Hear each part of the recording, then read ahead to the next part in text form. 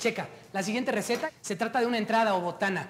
Sí, vamos a envolver unos pepinos con un poco de espárragos, kale o col rizada, un poco de chile, aceite de oliva y ajo. Este es el kale o col rizada.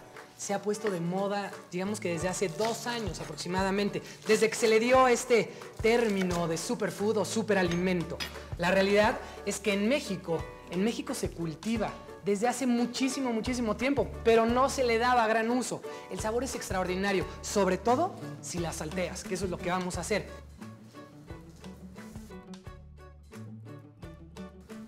Ahora, si hablamos de propiedades depurativas, esto que está aquí, además de ser uno de mis ingredientes favoritos, tiene grandes propiedades depurativas. Claro, está el ajo.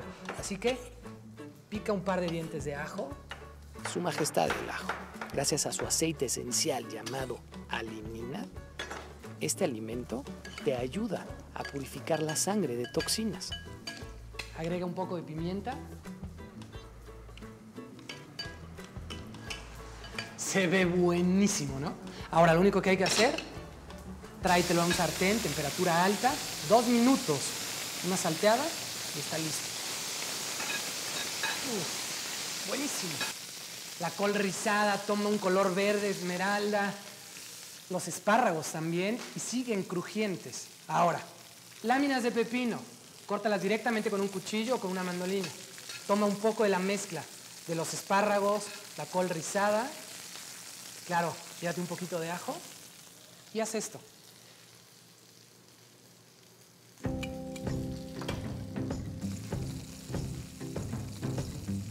Hey. Saludable, te ayuda a desintoxicarte. El kale te ayuda a limpiar el hígado y al control del azúcar en la sangre debido a sus altas concentraciones de vitamina A, C y K. ¿Te das cuenta qué fácil? Y se ve bien, ¿no?